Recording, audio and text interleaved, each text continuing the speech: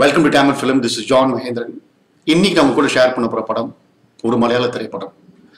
MC ஜோசப்ல ஒரு புது இயக்குனர் இயக்கிய படம் அஜீஷ்னு ஒரு மிக சிறந்த ஒரு எழுத்தாளர் எழுதிய படம் விக்ருதி.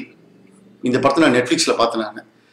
ரொம்ப ஒரு லேட் நைட்டாக அந்த படத்தை பார்த்து முடிச்சேன். ஆனால் பார்த்து முடிச்ச உடனேயே எனக்கு அது லேட் நைட்டாக இருந்தாலுமே வந்து இந்த படத்தை பற்றி நான் ஷேர் பண்ணி ஆகணும் பேசி ஆகணுன்ற மாதிரி ஒரு பெரிய ஒரு தாக்கத்தை ஏற்படுத்தின ஒரு படம்னு சொன்னால் அது மிகையாகாது. எனக்கு இந்த மாதிரி நல்ல படங்கள் பார்க்கும்போது வந்துட்டு எனக்கு அப்பாவோட ஞாபகம் தான் வரும். அப்பா அடிக்கடி வந்து எல்லாருக்கும் சொல்ற கோல்டன் வேர்ட்ஸ் வந்து பாத்தீங்கன்னா நீங்க ஒரு நல்ல ஒரு ரைட்டர் ஆகணும் ஃபிலிம் மேக்கர் ஆகணும் அப்படின்னா முதல்ல உங்களையே நிறைய எக்யூப் பண்ணிக்கோங்க அப்படின்னாங்க நிறைய புத்தகங்கள் படிங்க.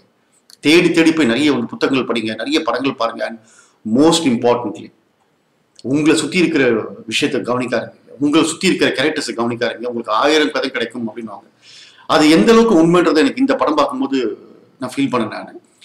நானும் இப்போ நிறைய படத்துக்கு வந்து கதை கொடுத்துட்டு இருக்கேன் வசனம் எழுதிட்டு இருக்கேன் நிறைய வெப் சீரிஸ்க்கு வந்து நான் கதை கொடுத்துட்டு இருக்கேன் இன்ஃபேக்ட் ஓடிடி பிளாட்ஃபார்ம் கதை கொடுத்துட்டு இருக்கேன் பட் இருந்தாலும் எனக்கு விக்ருதி படம் பார்க்கும்போது ரொம்ப ஒரு கில்ட்டியா ஃபீல் பண்ண வச்சது. ரொம்ப எனக்கு வந்துட்டு என்னால் அது எக்ஸ்பிளைனும் பண்ண முடியாது. ஏன்னா இது டெய்லி தினந்தினம் நம்ம பார்த்துட்டு இருக்கிற ஒரு விஷயம் தானே. இதை வச்சுட்டு ஒரு படம் பண்ணணும்னு ஏன் நம்மளுக்கு தோணவே இல்லை? ஏன் இல்லாத ஒரு கதையை வந்து நம்ம குக்கப் பண்றோம்? ஒரு ஃபிக்ஷியஸா நம்ம கதையை வந்து குக்கப் பண்றோம்.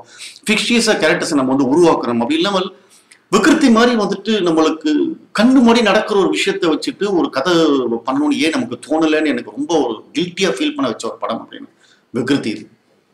ரெண்டு மகா நடிகர்கள் அப்படின்னா வந்துட்டு மிகையாகாதங்க சூரஜ் ஷோபின் சாகர்.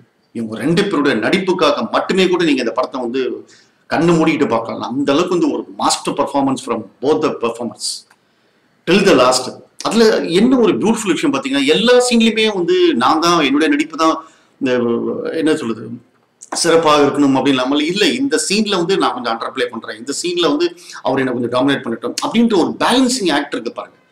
அதுதாங்க இவங்க மலையாளம் ரைட்டர்ஸா இருக்கட்டும் டைரக்டர்ஸா இருக்கட்டும் ஆர்டிஸ்டா இருக்கட்டும் அவங்க கிட்ட இருக்கிற மிகப்பெரிய ஸ்ட்ரென்த் அந்த கதையோடு ஒன்றி போறது அந்த சுச்சுவேஷனோடு ஒன்றி போறது.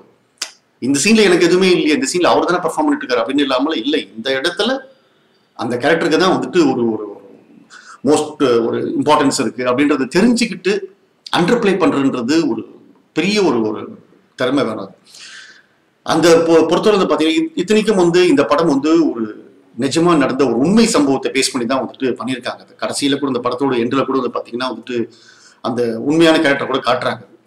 என்னன்னா நான் திருப்பி முதல்ல சொன்ன மாதிரி வந்துட்டு மெசேஜ் அடிக்கடி சொல்றது தான் அப்பா சொல்ற வார்த்தை தான். ஒரு இந்த இந்த படத்தில் அவர் மெசேஜ் சொல்றேன் அப்படின்றது ஒரு படம் பார்க்கும்போதே அவன் சட்டலாக புரிஞ்சுக்கணும். அவன் வந்துட்டு சிச்சி நான் இப்படி ஒரு தப்பை பண்ணக்கூடாது. சே ஒரு கேர்லெஸ்ஸாக ஒரு பண்ண தப்பு வந்து ஒருத்தருடைய லைஃப் எந்த அளவுக்கு பாதிக்குது ஒரு விஷயம் பண்ணுறதுக்கு முன்னாடி கொஞ்சம் ஒரு மிஷனை ஒரு ஃபியூ செகண்ட்ஸ் யோசிச்சுட்டு பண்ணணும்னு நினைக்க வைக்கிற ஒரு படம் வந்து விக்ருதி.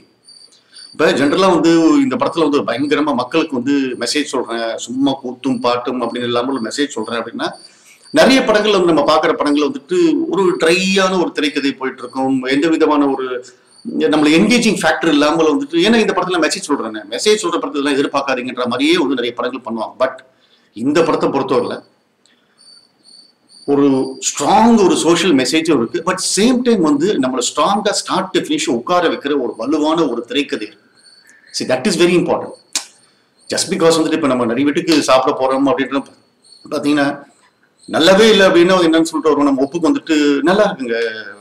இல்லையே வாயிலே வைக்க முடியலையேங்க போனா போதுன்னு சொல்லிட்டு உங்களுக்கு டின்னர் கூப்பிட்டுருக்காங்க. அது சரியில்லை இது சரியில்லை குறை சொல்லிட்டு இருக்கீங்கன்ற மாதிரி நம்ம வந்து ஒரு ஒப்புக்கு சொல்லிட்டு அப்படி இல்லாமல் வந்துட்டு இந்த கதை வந்துட்டு மெசேஜ் சொல்றேன்னு அவங்க இறங்கினாலுமே வந்து ஸ்டார்ட் ஃபினிஷ் நம்மளை வந்து ஒரு திரைக்கதியில் உட்கார வைக்கிறாங்க. அதுதான் அஜீஷோடைய ஒரு மிகப்பெரிய ஒரு ஸ்மார்ட்னஸ் எனக்கு இந்த படம் வந்து திருப்பி வந்துட்டு ஒரு ஐயப்பனும் கோஷியும் ஒரு என்ன சொல்றது வந்து டிரைவிங் லைசன்ஸ் படத்தை தான் ஞாபகப்படுது ஏன்னா ரெண்டு ஸ்ட்ராங் கேரக்டர்ஸ் ரெண்டு ஸ்ட்ராங் கேரக்டர்ஸ் நம்ம ரிலேட் பண்ணிக்கிறோம். அந்த ரெண்டு கேரக்டர்ஸுமே நம்ம மனசுல வந்து ஆழ்ந்து ஆழமா பதிஞ்சிருது. ஒரு வாய் பேச முடியாத ஒரு கப்பல் வாய் பேச முடியாத சூரஜ். அவருக்கு அவர் பையனை பத்தின ஒரு கனவு சி இவருக்கு எதுவும் வந்து தப்பா நடத்தக்கூடாது அப்படின்றது நம்ம மனசுல உட்காருது.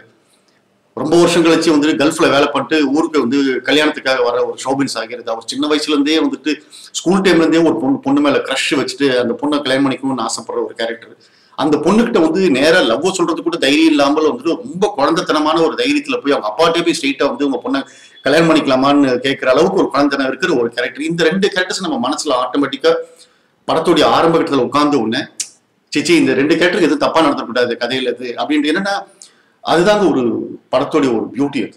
ஒரு திரைக்கதையோட பியூட்டி நம்மளுக்கு என்னதான் வந்து சூரஜன் ஒரு படம் நடிச்சிட்டு இருக்காரு ஷோபின் சேகர் ஒரு படம் நடிச்சிட்டு இருக்காரு அப்படின்னு நம்ம நினைச்சுக்கிட்டே படம் பார்த்தாலுமே அந்த இந்த கேரக்டர் டிசைன் பண்ண விதம் வந்து யோசிச்சு இவரு இது நடந்துடக்கூடாது ஷோபின் பண்ற ஒரு சின்ன தப்பு வந்து சூரஜோட லைஃப் எப்படி பாதிக்குதுன்றதான் கதை. நான் வந்து கதையை பத்தி சொல்ல விரும்பல இந்த கதையில இருந்து சாமர்த்தியம் அப்படியே சொன்ன மாதிரி பார்த்தா ரெண்டு கேரக்டர்ஸுமே நம்ம மனசுல ஆழமா பஞ்சனால ஒரு மொமெண்ட்ல வந்துட்டு சூரஜுக்கு ஒரு நடக்கிற ஒரு மிகப்பெரிய ஒரு தப்பு வந்து பாத்தீங்கன்னா ஐயோ இப்படி நடந்து போயிடுச்சு இந்த மனுஷனுக்கு ஐயோ இப்படிப்பட்ட கனவெல்லாம் வச்சிருந்தானே நொறுக்கிட்டானுங்களே அப்படின்னு அவர் மேல ஒரு உச்சக்கட்ட சிம்பத்தியை கிரியேட் பண்ணி வெரி நெக்ஸ்ட் சீன் வந்து பாத்தீங்கன்னா இதை பண்ண ஷாபின் சேகர் மேல அதை விட ஒரு பத்து மடங்கு வந்து சிம்பத்தி ஏத்துறாங்க. அதுதான் வந்து நான் ரொம்ப வந்து அமேசான ஒரு ஸ்கிரீன் பிளே அமேசான ஒரு ஒரு சீன் கன்செப்ட் கன்செப்ஷன் அப்படின்னு பாத்தீங்கன்னா எனக்கு இந்த விக்கிரத்தில பார்த்தேன் அடுத்த செகண்டே வந்து அந்த தப்பு பண்ண ஷாபின் சேகர் மேல வந்து நமக்கு மிகப்பெரிய ஒரு பரிதாபத்தை ஏற்படுத்தி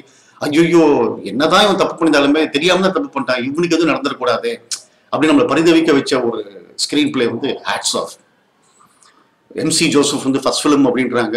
எந்த அளவுக்கு வந்துட்டு ஒரு ஒரு மெச்சூரிட்டி எந்த அளவுக்கு ஒரு தெளிவு அது நீங்க படம் பார்த்தா தான் உங்களுக்கு தெரியும் நான் இன்ஃபேக்ட் சொல்ல போனால் வந்துட்டு படம் பார்த்து முடிச்சதுக்கு அப்புறம் தான் வந்து இந்த டைரக்டரை பற்றி நான் கூகுள் பண்ணப்ப பார்த்தீங்கன்னா அவருடைய டெபு மூவின்னு தெரிஞ்சவொடனே இவ்வளோ எனக்கு ஸ்டில் எனக்கு அந்த படத்து மேலே பிரமிப்பு ஜாஸ்தி ஆயிடுச்சு. ஏன்னா ஒரு ஃபஸ்ட்டு ஃபிலிம்லேயே அவ்வளோ தெரியும் அதாவது ரைட்டர் ஆகணும்னு ஆசைப்படுறவங்க வந்து வசனகத்தை ஆசைப்படணும்னு நினைக்கிறவங்க எல்லாருமே தயவு செஞ்சு விக்கிருத்தி படம் பாருங்க. அதாவது பக்கம் பேச வேண்டிய ஒரு ஒரு ஒரு டயலாக்கோ ஒரு ஒரு கண்டென்ட்டை வந்து பார்த்தீங்கன்னா ஒரே ஷார்ட்ல கன்வே பண்ணிட்டு போயிடலாங்க அதான் எனக்கு ஏன் சொன்னேன் பெரிய பெரிய மாஸ்டர் சொன்ன வார்த்தைகள்லாம் எவ்வளவு உண்மைன்றது வந்துட்டு எனக்கு வந்து இந்த படத்துல புரிய ஆரம்பிச்சது. ஒரு அப்பா அடிக்கடி சொல்ற வார்த்தை சினிமான்றது விஷுவல் மீடியம் அப்படின்ட்டு.